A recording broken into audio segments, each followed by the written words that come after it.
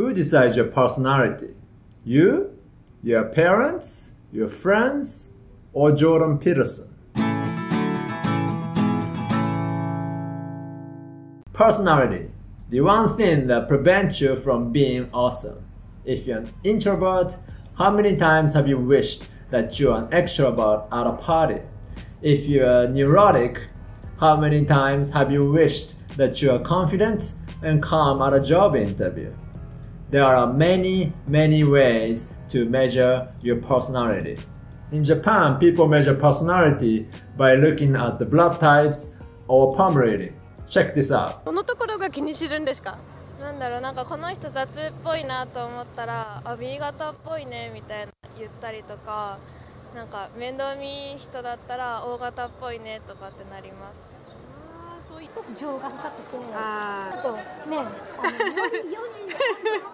ちゃうかもしれないそうですねはい頭脳線。ですね頭脳線。すっごいですねこれすっごく伸びてますはいここまで伸びてるっていうことはめちゃくちゃ頭がいい人ですもともと、えー持ってる頭の良さに加えて、はいすごくこの後努力をされて自分で努力をされて、勉強して、はい伸びていってる前からです These forms of personality tests are so popular in Japan that some people even decide whether or not to date a person based on their personality types.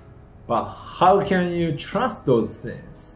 Not just the method that they're using to measure personality, but also the very notion of personality itself. Do you have a one type of personality, say an extrovert, and do you always act like an extrovert? Do you date a person because your friend says he or she has a good personality? I know what you want to say.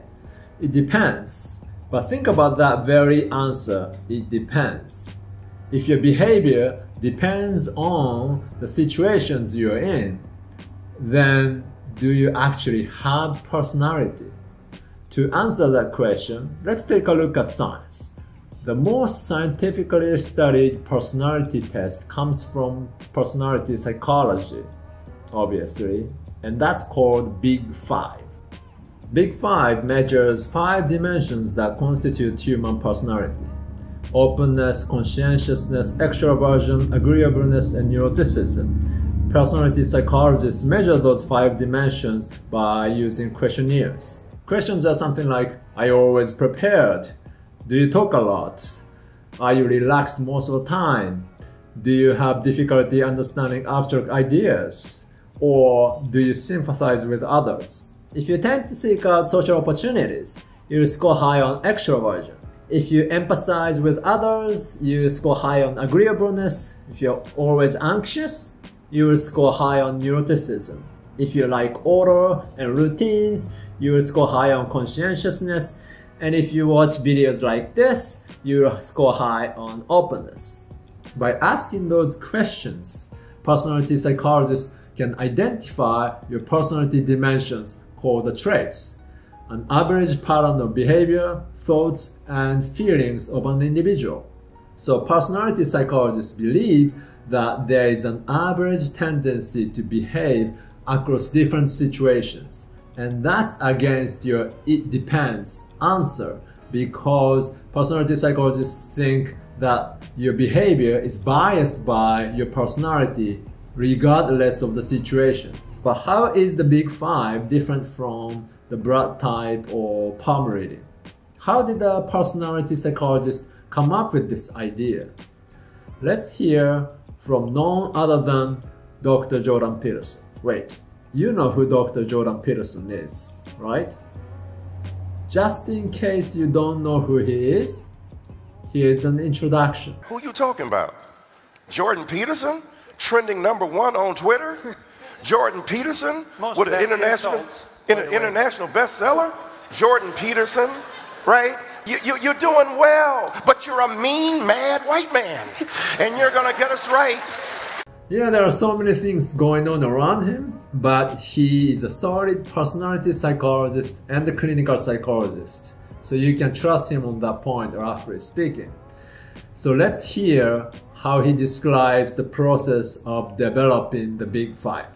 This is actually what happened when people developed the Big Five. So I'm going to give a very large number of people, a huge set of questions that cover every element of their personality I can think of. It's agnostic, right? What I'm really trying to do is come up with the biggest possible set of descriptors that someone could actually fill out. Then I give them to a thousand people, agnostically. Then I do the factor analysis. Bang, five factors come out. And then the factor analysis tells me which questions load on each factor. And what the factor analysis is saying, here's 20 questions, and there's something about them that's the same. So then I read the questions and I think, well, those questions are referring to something the same. What is that? Well, then maybe I talk to three colleagues and we think, well, that's something like sociability. Bang, we have a name. And then we could go see, now that we have a measure of sociability, we could go associate it with other measures of sociability. Like we might say, well, are people who score high on this measure of sociability more likely to go to parties? And the answer would be yes. Because what happens if you take 10,000 questions about personality and randomly select sets of 100 and give each of them to 1,000 people and do a factor analysis, the first factor is extroversion. And it's the, it's the factor in human personality that seems to pick up the biggest amount of variance. And so, so then we say, from a statistical perspective, extroversion is real. Yeah, maybe he's a little mad. Anyway, so what's interesting about the process is that personality psychologists took all the descriptor words from an English dictionary, such as kind, anxious, or talkative, and asked the people whether those descriptors apply to them. And then, by using statistics, they found that those descriptors clustered together in five groups, which became the Big Five, roughly speaking. Now, he also says that personality is real because it's statistically real. But are you convinced of that? See, if you're a scientist, you begin your scientific study by observing a phenomena and then later on build a theory about it. But in the case of personality, you start by asking people questions about the personality and find that there are five things that people respond uniformly. And then from that, you infer the existence of personality. Now that begs the question of whether personality is real. In other words, if you are to take Big Five seriously, you have to believe in a set of assumptions. Now, are those assumptions believable to you? Let's go back to Dr. Peterson. I'm going to set forward a set of propositions, and you, you have to think about them because each of them are they're axiomatic, so you sort of have to accept them before you go on to the next step. And there's certainly room to question them. But here's the bare bones of the psychometric model of personality. So we'll call it roughly the Big Five model. And the reason it's called the Big Five model is because the psychometric investigations have indicated that you can specify human personality along five basic dimensions. And so here's the hypo hypothesis part. And this is a critical thing to know. This is called the linguistic hypothesis. And the linguistic hypothesis is that variation in personality among human beings is of sufficient import so that it's become accurately coded in the lexicon. So, what that means is that roughly speaking, is that over the course of the evolution, evolution of any language, we'll use English as the example here, descriptive terms have been generated that actually do cover the variation in personality and that essentially cover them without bias. Now, that's a hypothesis. Actually, it's an axiom. So, so that's the first thing you have to accept. You have to accept that it's possible to extract out what constitutes personality by looking at the linguistic representation of, of descriptors insofar as they're encapsulated in language. So the first assumption is that the descriptor words capture human personality. Is this reasonable to you? Here's another assumption. The weird thing about the Big Five, or one of the weird things about it, is that we don't have great tests for the traits independently of self report for almost all of the traits. That is to say, that when you measure your personality, you rely on your knowledge about yourself or of a person who knows about you. There is no direct test, whether it's a biological or behavioral, to identify your personality. That's interesting. What do you think? Next assumption. I started to talk to you about trait theory, and now I'm going to make a jump to biology. And that, that's a strange jump in some sense because the, two levels of analysis are relatively disconnected. But the workers at the forefront of the field are trying to integrate what's being established at the statistical level of analysis with what's known at the psychobiological level. It's developed in a rather strange way because the traits that were identified that I discussed with you on Tuesday, the big five traits, all emerged as a consequence of the statistical analysis of, of descriptors, characteristic mostly of the English language, although it's been duplicated in other languages. So, in some sense, it was an a-theoretical model, right? It just came out of the linguistic data. So there was no real initial inferences about brain area or neurological activity or, or anything like that to drive the formulation of the Big Five model. In, instead, the Big Five model came first, and then people started thinking, can this be put into alignment with what we know about the brain? So this is the third assumption. That is, personality is based on biology. When I say it's based on biology, I mean that the each personality trait has a direct link to a specific biological or physiological system. So the last assumption is that there is such a thing as personality. Personality psychologists began the search for personality based on the assumption that there is such a thing as a personality. Because personality is not something you can see, it's an assumption. So in order to take the scientific account of personality seriously, you have to take those four assumptions at least. One, that words capture personality. Two, people's reports are accurate descriptions of their personality. Three, personality has direct link to biology. And four, that the personality exists. I have problems with those assumptions. See, the first rule of behaviorism is that we don't assume. We don't assume any hypothetical or unobservable things to be real. What if we don't assume any of those assumptions? What kind of a human condition do we see? Is it gonna be a crazy one or, or a good one? So let's take a look at the assumptions one by one.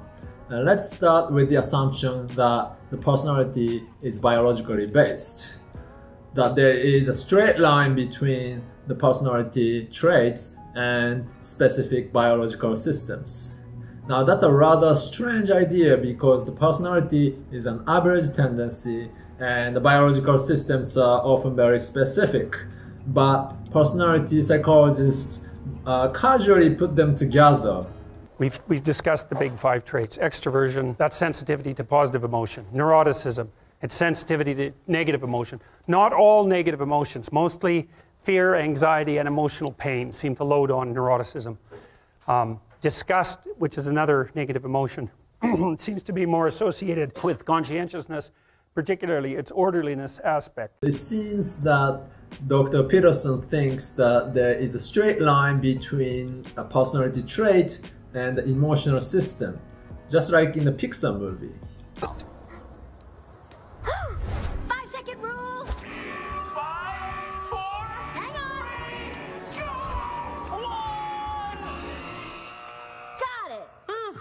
Nice one, Joy. Skin Close one. Whoa! No way! We are not eating that. Disgust. It's fine. It passed the five second rule. The grape touched the ground. It's poison. Oh, come on. It barely touched the ground. Wait, what? You know what else barely touches the ground? Yeah. Stray dogs. Hold on. Toenail clippings. Yeah. Roadkill. Hippie. Dung beetles. Stop it. Can't believe Uh, shouldn't we do something? No. It's a grape. It's not like we're eating broccoli. Ugh, don't even go there. Or boogers. You're evil. Or dog food. Shut your mouth. But the behaviorists are not convinced of such a simple relationship because we know that there are a lot going on between the level of biological system and the personality. So in between the personality and the biology, there is a behavior level. And at that level, there are a lot of situation specific behaviors that come out as a result of an organism interacting with the environment. Now, those are situation specific behaviors and not the general tendency. Now, Jordan Peterson calls those situation specific behaviors as micro routines or habits. Now, let's hear from him how those micro routines develop. So, for example, you know, a child learns how to breastfeed, its mouth is pretty wired up right at birth, okay? And, and the rest of its body isn't wired up very much at all, but its mouth is. And you might think, well, that's just a reflex, and that Piaget would agree with that. It's a built-in, it's something built in that, that a baby can do right at birth. But even in the act of breastfeeding, the baby has to learn how to modify that reflex so that it gets along with its mother. So even at the very beginning, with the most, you might think the most primordial acts, there's a sociological and influence and there's a mutual dynamic going on that's really, really important. So the baby is born with a sucking reflex, and the mother tries to breastfeed her baby by placing her nipple at the baby's mouth. At the right angle, that will elicit a sucking response and the baby gets milk. Now, this is a situation specific behavior because the mother's breast is a stimulus and the baby's sucking is a response. Now, this is called an SR relationship. But after about four months, the sucking reflex will disappear. And after the reflex is gone, the sucking response becomes voluntary, which will be maintained by finding mother's breast and getting milk a process of reinforcement. Now, the reinforcement based response is also a situation specific behavior because the mother's breast is a stimulus, sucking is a response, and the milk is a consequence. You're not gonna say that a baby is an extrovert or introvert when he or she is trying to find the milk because this behavior is called upon by the situation. Let's take a look at another example. Here's an example. So you've got your four-year-old, you want them to clean up their room. And so it's full of toys. Let's say they're three and a half. You look at it, you say, look, you know, clean, clean this up. Clean up your room. So you shut the door and you go away and you magically hope that when you come back, the room will be clean. But of course, the child has no idea, in all likelihood, at that age, or maybe it's two and a half, something like that. They don't know what clean up a room means. That's like way up here, man. It's like you told your child, there's mass everywhere, be a good person, you know, and then you come back in half an hour and they're no better a person than they were, and you get upset. It's like you can't do that. You have to say, you see that teddy bear? And you know that that kid knows how to see a teddy bear. And they know how to pick it up because you've watched them see a teddy bear and pick it up. And you know that the child knows the name of the teddy bear. It's teddy bear. And so you point to the teddy bear and you say, Do you see that teddy bear? And they go, Yes. And you say, That's good. Pat, pat. And they get a little kick of dopamine. So that's a happy day for the kid. And then they smile at you. So you feel pretty good about that too. And then you say, You think you could pick up that teddy bear? And they say, Yeah. And so they go over there. Not every kid, by the way, but they go over there and they pick up the teddy bear, and it's like it's a good day for both of you. And then you say, You see that little space on the shelf? Because you know they know what a shelf is, and you know they know what a space is and you say, Take that teddy bear and put it in the shelf. And they go over there and they put it in the shelf, and then they look at you and you're smiling. And so the probability that they'll do that again is now increased. Again, a child's response of picking up toys is maintained by father's attention. Teddy bear, pick up father's attention, a situation specific behavior and the child accumulates many of those situation specific behaviors as he or she grows up. So, if you take children and then you watch them interact, then what you'll find is that the two year olds are by far the most aggressive of the lot. Okay, so then let's say you identify this cohort of aggressive two year olds, track them until they're four years old. What you find is the vast majority of the hyper aggressive male two year olds get socialized perfectly well. So by the time they're four, they're temperamentally probably still more aggressive, but they've become civilized little monsters, so other people can tolerate them. And that means that they've had parents or peers or educational experiences that enabled them to learn how to interact productively with other kids and to bring their aggressive nature under control. He is a child with a rough temperament. He is exposed to the social environment and he learns situation specific behaviors at each instance of socialization, with each peer, with each adult. The basic biological temperament is modified by environmental contingencies at the behavior level, and this will continue all the way to adulthood. We're always playing games, always. And a game, you might think about a game as a microcosm of the world. And a small child's game is a tiny fractional microcosm of the world, but then you get up into adult games, and you could think about those maybe as multiplayer online games. That's one good representation. But even more sophisticated things like being a lawyer, say, or like working at McDonald's or any of those things, those are also forms of game. So it start, you start out not being able to play a game at all, then you can play a game with yourself, then you can play a game with a few other people, then you can play rule governed games with lots of people, and then you realize that you make the rules and you can make new games. Even working at McDonald's and being a lawyer is a collection of situation specific behaviors. Now, here's a question that we have to ask What is the relationship between those situation specific behaviors and the personality? Jordan Peterson seems to think that those situation specific behaviors will give rise to personality. Because as you interact with other people, you inevitably tell them what you want and what you don't want. When they give you what you want and what you admire, you respond positively to them, you pay attention to them, you smile, you focus your thoughts on them, you interact with them, and you reward them for acting in a particular manner. And when they don't respond the way that you want, then you punish them with a look or by turning away or by rejecting their friendship or when you're a child by refusing to play with them. And so we're engaged in the co creation of personalities. I mentioned the determination of micro personalities by fundamental underlying biological systems like defensive aggression and sexual desire and hunger and thirst and so forth. Those are all systems that can grab your perceptions, make you look at the world in a certain way, make you pursue something else in a certain way, and prime action responses that are in keeping with all of that. The, the traits seem to be something like higher order agglomerations of those more fundamental biological motivations. So Jordan Peterson thinks that there is some kind of hierarchy between the biology and behavior and the personality, where the personality is on top and organizing the situation specific behaviors and the biological systems. A motivated state, in some sense, is like a little micro personality. It's, it's only got one aim, it's, it's sort of a one eyed micro personality, you know, so it's only aiming at one thing, but it still has all the other aspects of personality.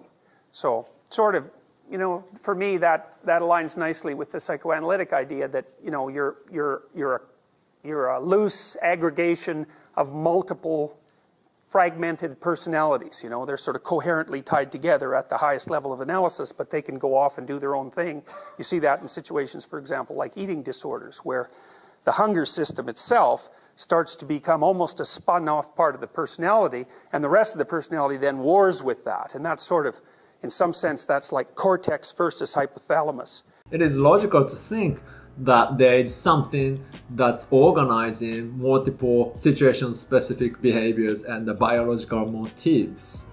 Otherwise, you're a puppet of the environment acting out incoherently. Assumption alert! Yes, that's actually one of the assumptions, namely, personality exists. It is the assumption that we want something that organizes our behavior. We want things to be coherent all the time. There's even a disorder called multiple personality disorder, or in modern term, dissociative identity disorder. We see incoherent acts as disorder. Now, is this cultural or biological? No one believe me. I'm Mr. Funny to you. Mr. Funny. Whoa! Oh, sorry, Tommy. What's in the cup, Ross? Um, What is in the cup? okay, it's coffee. Iced coffee? Tell me it's iced coffee. It, it's hot. Hot coffee! You idiot! You gonna spill hot coffee all over me, huh? What are you, just a big, dumb, stupid, doofy idiot with a doofy idiot hairdo? Huh? Huh? What's your favorite thing about summertime? Mm, going to the beach when it stays light, real late. Yeah. Hey! Tommy! Say, what's your favorite thing about summer? Ooh, I don't know. Probably the uh, smell of freshly cut grass. Oh, that's a good one. We don't like to be incoherent But if we look at the behavior situation by situation, it's not that coherent either. In fact, our original answer, it depends, also reflects such a position. But we want to be coherent, we want to stay put. But why? Now that ties into the last two assumptions the assumption that was capture personality and the assumption that the self report of personality is accurate. The assumption that descriptor words capture personality is interesting. Who uses words and why? How do we learn to use a word? Jordan Peterson talks about how a child learns the concept of clean. So let's say, and that's what you're doing with the kid. It's like, clean up your room, be a good person. It's like, no, they don't know any about, anything about that, but they do know how to pick up a teddy bear. And then maybe you think cleaning up your room is a hundred things like that. And so you have to teach the child each one of those hundred things. And then they learn this is the scheme. They learn what's the same across all of those different actions. That's clean, right? Pick up the teddy bear, put away the Legos, make your bed. What? Those have nothing in common, really. Like the motor output's completely different. But they, they fall under the heading of clean. But unless you fill the heading of clean with all the subordinate categories of the action perception sequences that make up clean, kid can't do it. So just like the child learns the concept of clean, he also learns to use descriptor words like shy or outgoing or hardworking. But for what? Well, to convey information about somebody to somebody else, roughly speaking. Hey, you should hire this guy, he's hardworking. Or hey, you should date him because he's so kind. And sometimes, in a very specific situation, you apply those descriptor words to yourself as well. What would each of you say is your worst quality? Well, I am a workaholic. Well, I push myself too hard. Well, it takes me a long time to learn anything. I'm kind of a goof off. Okay, that'll do. Little stuff starts disappearing from the workplace. That's enough. Why do you think you'd make a good pharmaceutical sales rep? Well, I'm a people person. People like me. Some of my favorite people are people. I feel like I'm saying people a lot. People, people, people. pe- Okay, I'm done. Sure? People, yes. Are those descriptors accurate or capture everything? Well, you know the answer when you write your own resume. You may write that you're hardworking, but you know that sometimes you're lazy. You may write that you're a team player, but you hated everybody at your previous job. So why do we use descriptors? Because that's how we communicate. We use words to achieve some goals, but that doesn't really mean that it also reflects that personality is inside us. That there is this agent that's supervising and organizing those situation specific behaviors. Then what if those two assumptions are not capturing personality itself, but rather are reflected on how and why we use words? Take a look at another culture and see if coherence is always required.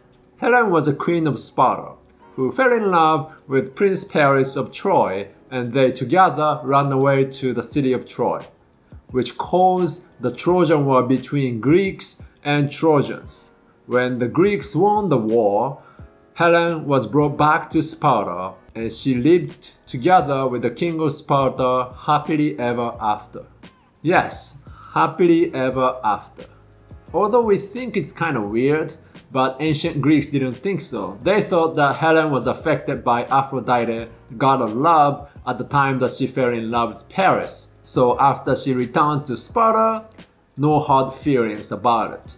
She's still the most beautiful woman in whole Greek world.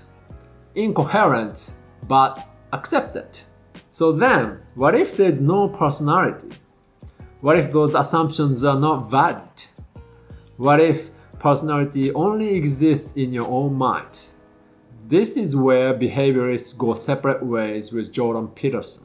Behaviorists do not assume personality, and behaviorists do not assume that there is something that's organizing and supervising our behaviors inside us. You could also re- regard yourself in some sense as a loose internal society. Or you could say you're a collection of subroutines. You're a unity, but you're a, you're a univer- unity that brings together a plurality of subcomponents.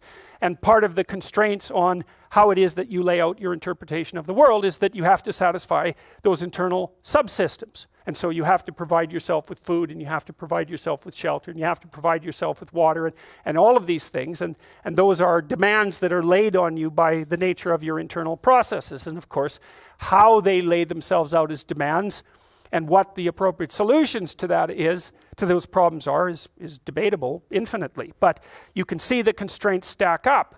You have to satisfy your internal constraints. So they have to be brought into a unity. That seems to happen, at least in part, between the ages of two and something like between the ages of birth and four years old, maybe even two years old. You bring yourself together into something that's sort of functioning as a unity. Then you have to turn that unity into a unity that can function in the social world. An alternative to this is that instead of the child's personality emerges at age four, it may be that the child's language becomes sophisticated enough so that he or she can apply a descriptor word to him or herself. Instead of believing personality as an agent, behaviorists think that personality is a word that we learn to use in a particular situation. In this case, our own behavior is the stimulus and the use of descriptor to our own behavior is a response. So it's a situation specific behavior. So there is no higher order entity like traits, but there are only situation specific self monitoring behaviors, roughly speaking. So is personality real? Does it exist? Well, this is how Jordan Peterson responds to that question to determine whether or not a construct, so it's a hypothetical psychological phenomena or entity, whether or not that's real depends to some degree on what it's good for, right? Part of the aim of science is prediction and control. And so it's useful to take a look at important life outcomes among human beings and to determine whether or not you can predict them, because that's one way of testing whether or not phenomena that you've derived, say, from your statistical analysis, both in the case of fluid intelligence or intelligence more broadly, and in the case of the Big Five, actually has the capacity to manifest itself in a meaningful way in, in the world outside of inside the lab. That's, that's one domain of potential validation, but then outside the lab as well. So one way to decide if personality exists, aside from believing those assumptions, is to test its utility. How useful is this concept? Back in 1968, there was a guy named Walter Mischel, and he had reviewed, he's a social psychologist, he reviewed the personality literature up to that point and concluded that the typical personality measure only predicted the typical performance measure at about 0.2.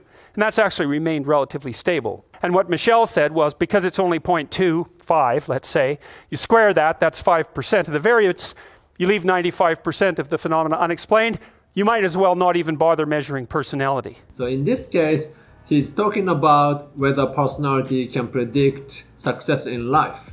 And the outcome is that personality test Big 5 can predict about 5% of the outcome.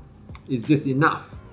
Well, Jordan Peterson talks about some utility to it in terms of job hiring, but I don't believe that for you and me in everyday situation, that's enough. So the utility criterion of personality says that it does not exist, at least between you and me in everyday life situation. But what about the conceptual one that we have been talking about all along? And so this is sort of you, right? This is your personality. It's this connect collection of routine, subroutines that you've turned into a hierarchy, and then there's something at the top of it, and that's that's a big question. What the hell should be at the top of the hierarchy? Because that's the ultimate question of unity. And, the, and the, the clinicians would say, well, it's the self-actualized person, or it's the self, or something like that. You know, that's that's the i that's the implicit and perhaps explicit ideal that you're aiming for. And you might say, well, is does such thing exist? Does it exist? He seems to say yes and I say no. Dr. Peterson believes in personality and he believes in the assumptions that constitute personality tests. He believes that there is a higher order supervising and organizing agent that governs situation specific behaviors and the basic biological systems. On the other hand, behaviorists think that there is no personality. they don't take the assumptions that constitute personality tests. We just think that personality is a word that we use to describe our own behavior, a situation specific self monitoring behavior. But that leaves a question. If we deny personality, what about our sense of coherence as a person? What about our sense of self? What about our consciousness? Well, that's for another video. For now, this. For now, this. Jordan Peterson speaking roughly. Now, what happens to normal boys, roughly speaking? Imagine the aggressive two year old types. They get socialized, so their level of aggression goes down, and then they hit puberty and testosterone kicks in, and bang, levels of aggression go back up. Because I believe that human males and females are in an evolutionary cognitive arms race, roughly speaking. And so, as men get trickier, women get trickier to understand them. And then as women get trickier to understand, men get trickier to understand them. And so we've been chasing each other around. Why is it that smart people are at the top of dominance hierarchies? And the answer to that, in part, is because they get there first right? I mean, everything's a race, roughly speaking. As you, in fact, as you flatten out the sociocultural environment, say you take everybody and you provide them with optimal nutrition and optimal access to information, which you've pretty much done, by the way, with a computer, right? Because how are you going to give someone more access to information than to give them a web-enabled computer? That's it, right? There's, there's just no better, it's an infinite library. You can learn anything with it. So we're done. We've equalized the education landscape, roughly speaking. And then nutritionally, well, you know, yeah, some people eat badly and some people eat better. But the option to eat well is basically open to at least everybody in North America, roughly speaking. You've wiped out the socio sociocultural variation. And so, for example, now that I'm in my 50s, roughly speaking. Let's solve the Jordan Peterson puzzle. One of the things that I point out very clearly in the book is that you have a, an internal guide to meaning. It's, a, it's an instinct. It's a manifestation of something called the orienting reflex, which is a very deep instinct. Okay, so the meaning of life, so the meaning of life and the orienting reflex. So the orienting reflex is a reflex where when there is a change in the environment, uh, you will orient to that stimulus. So that's the orienting reflex. If there is a loud noise, then you turn to that noise, or if there is a change in the music, then you orient to it. And so, how does that connect to the meaning of life? Okay, um, let's see. So, orienting reflex, you look to well, what, what is the meaning of life in this case? Uh, that is, I think he's talking about some kind of a self actualization type as a meaning of life. So you will you want to try to achieve uh, the maximum potential as a person. So that's where the meaning of life is, and then this basic or orienting response, which is a reflex, reflex is is on the other. All right so the puzzle is to connect those two. Okay um uh, let's see. So you orient to a change in the stimulus. So that's a change in the environment. If it's change you pay attention to it. If it's no change then you don't pay attention to it. So in other words in your life, if the life is the same every day in uh, every aspect of your life, then you don't pay attention to that anymore. Uh, you don't orient to anything. You orient to anything, but there is a change, then you pay attention to that. Right.